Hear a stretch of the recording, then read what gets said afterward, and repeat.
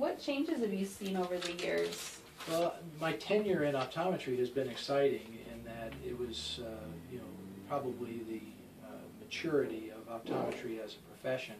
When I started out um, in the seventies, uh, optometrists did, you know, just routine eye exams, nothing more, you know, just for Oh. glasses and contact lenses. Uh, Somewhere along the way, we, you know, we grew up and started doing other things. We uh, earned the right to use diagnostic pharmaceuticals sometime in the eighties.